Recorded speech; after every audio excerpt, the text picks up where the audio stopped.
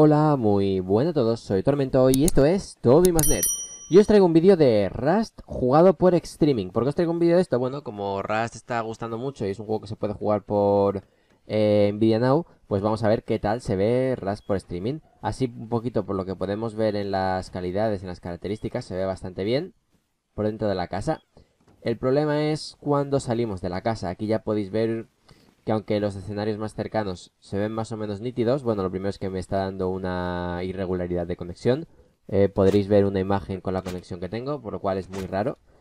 Y bueno, podéis ver que aunque hay eh, tilsets, aunque hay calidades que están muy bien, hay otras muchas que parecen como más borrosas. Cuando centras tu, tu visión en un sitio, hay lugares del propio mapa en los cuales parece que se ve todo como más borroso. También ahí vemos algunas pixelaciones y vemos algunos cortes. Yo la verdad cuando jugué a The Witcher no vi tanto fallo, sinceramente. Eh, uno de los motivos que podría deberse esto es que directamente estén dividiendo el ancho de banda, estén dando unos ancho de banda muy residual, muy pequeño a los usuarios que lo juegan directamente de manera gratuita y den uno superior, den uno más caro a los usuarios que lo juegan de una manera, por decirlo de una manera más principal, por una manera que lo juegan con el sistema de pago. Ya, básicamente. Así que yo lo único que puedo encontrar, que una única explicación que veo es que pueda ser esa. Como veis, no se ve demasiado con demasiada calidad en según qué sitio, sobre todo cuando nos movemos. Cuando nos quedamos quietos y miramos un punto parece como que eh, recupera un poco lo que es toda la calidad de eso, pero cuando nos estamos moviendo podemos ver diferentes errores, algunas pixelaciones, podemos ver algunos saltos de frames, podemos ver, bueno, diversos fallos del propio streaming. Eh, sinceramente me gustó más la vez que jugué The Witcher, ya lo he dicho, pero bueno, lo repito. Y es un juego que aunque en parte se puede jugar, eh, no es imposible jugar, eh, ni es que se vea demasiado mal, sí que me esperaba bastante más de esto y sobre todo porque es un servicio al cual le tendrían que estar poniendo ahora la máxima gana porque es un servicio que está empezando y es un servicio que va a hacer que la mayoría de la gente decida lo que quiere jugar. Recordemos que estamos jugando a través de, un ordenador, eh, a través de un PC. El servicio por streaming debería permitir que cualquier persona con cualquier dispositivo eh, prácticamente con tener la aplicación pudiera jugar sin problemas. Y bueno, en nuestro caso estamos jugando a través de un, de un PC, pero bueno, esto es un servicio ideado para PCs de gama baja, para televisores, etcétera. Aquí podemos ver un poco algunas pixelaciones según qué árboles del fondo también, dependiendo de la distancia de renderizado.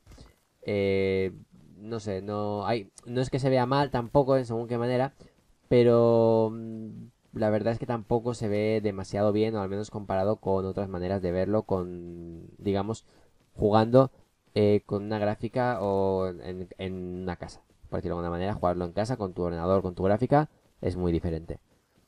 Y la verdad es que es algo que pensé que más o menos ya habrían arreglado y ya funcionaría algo mejor. Además de, como ya podéis ver en algunos casos, los trompicones y las caídas de frames. Me sigue saliendo el logo de problemas de conectividad, no sé por qué, sinceramente. Eh, seguramente haré un par de conexiones más para ver si alguno se me quita el problema o algo. A lo mejor es que ha coincidido. No he tenido que esperar cola. En otros casos, en otras veces he tenido que esperar cola y esta vez no. Así que me imagino que los servidores no deben estar demasiado llenos deben de tener una... deben de estar más o menos bien. Es por eso que no me explico por qué, eh, hasta qué punto eh, el problema es de que haya mucha gente o de que haya poco ancho de banda. Y bueno, eh, acabaremos un poco ya el vídeo por, hacer algo. Y, pero ya digo que no sé, no me, no me ha parecido tan bien como en otras ocasiones. ¿Se puede jugar? ¿Es jugable? Sí, se puede jugar. Pero ni punto de comparación a jugarlo en un ordenador de en un ordenador tuyo, en un sobremesa con unas características buenas. Obviamente, dependiendo del tipo de ordenador que utilices, pues a lo mejor es el único sistema que te queda para probarlo. Pero bueno, simplemente me ha parecido que estaba por debajo del nivel que debería de estar ahora mismo este juego. Así que seguramente lo que haremos también será hacer una pequeña comparativa eh, gráfica entre jugarlo directamente con nuestro ordenador, jugarlo directamente nosotros o directamente que se juegue con un servicio por streaming. Estaría bien más que nada poder comparar la diferencia que podemos notar entre, un, entre una cosa u otra. Yo soy un usuario que apoya el streaming, creo que es el futuro en según qué sentidos y que puede tener mucha salida como una opción más para la gente que no quiera comprarse un, ordenador eh, directamente.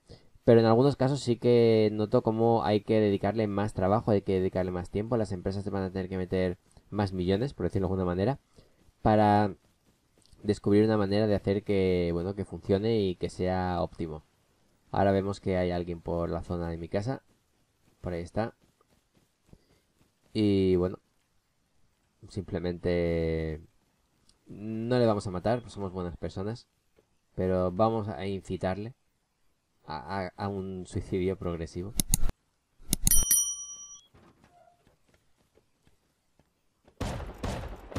Y nada, acabamos así el vídeo. Hasta otra.